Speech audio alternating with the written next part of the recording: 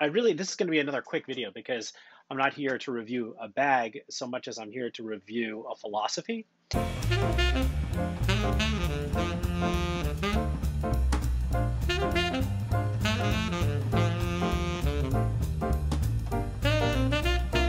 realize that um, you may be wondering where I am. This is actually outside of the place where I normally do my videos, which is in my basement studio.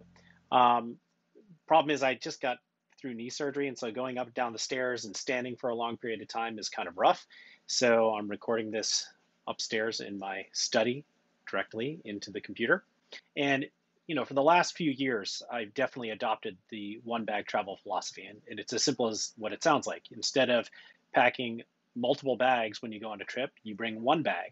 Um, and there are all sorts of benefits to this. Um, you know, you get to free your hands to be able to um, pay for coffee, dig around for your passport, etc., or maybe even um, you know carry your kids' luggage if they can't carry it themselves, or you know hold on to their hands as you're going through a busy airport. Um, you don't need to keep track of two bags in the airport um, when you're standing in line. Um, you, most importantly, you don't need to um, fight for overhead storage in the airplane, which I think is kind of huge um, because your bag can fit in the the, uh, the underneath the seat in front of you. Um, not having to check your luggage, you know, obviously we know the benefits of that. Not only will they not be able to lose it because it's with you, but two, you don't have to wait for the uh, carousel to spit out your luggage, which sometimes takes an inordinate amount of time.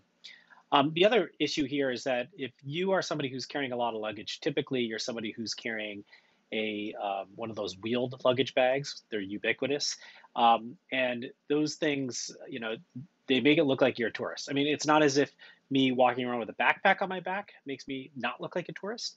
Um, but for sure, you look like a tourist when you're carrying one of those wheeled pieces of luggage along with a another backpack or a, a satchel or something that you're bringing with you.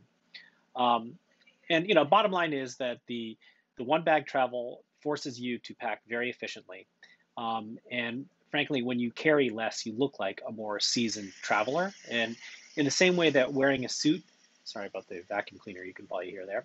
Um, wearing a suit makes people treat you differently, you know, with great, a lot more respect. Um, traveling lightly, at the very least, gives off a vibe of you being somebody who knows what he or she is doing. And, um, you know, for what it's worth, um, some people feel like that's an important thing. Now, there are some significant problems that I've had with one bag travel, um, particularly as I've gotten older and uh, my body is kind of broken down. I mean, I had to get the knee surgery. I also have a bad back and a bad shoulder. And so carrying a one bag travel backpack is definitely a struggle for me because if you are just carrying one bag, it's you're carrying a lot of stuff. And for me, I'm always carrying a camera kit, a tripod, my um, computer. Sometimes I'm even bringing my iPad with me wherever I'm going and my headphones. So you can imagine it starts to get very heavy. Um, and I'm not saying that that's the, the cause of all the issues that I've had in terms of my, my skeletal system, um, but certainly it doesn't help to, to carry that kind of a load on your back.